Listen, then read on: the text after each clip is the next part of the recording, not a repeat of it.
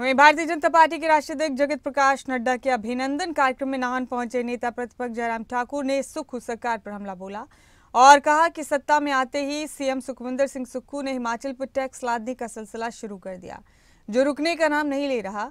दो साल में सरकार ने प्रदेश को दस साल पीछे कर दिया।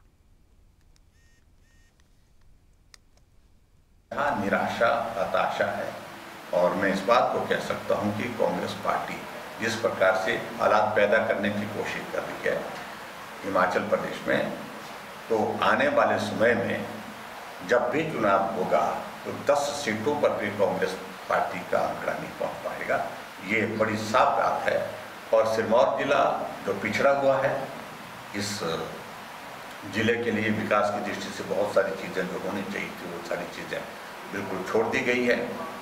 और मैं इस बात को देख रहा हूँ कि पूरी मंत्रिमंडल के, पूरे इनके नेताओं की टोली जो है, आकंठ भ्रष्टाचार में डूबी हुई है। बहुत बुरी तरह से डूबी हुई है। और बुरी तरह से भ्रष्टाचार में डूबने के बाद जो है वो एक एक कारनामे अब सामने आ रहे हैं।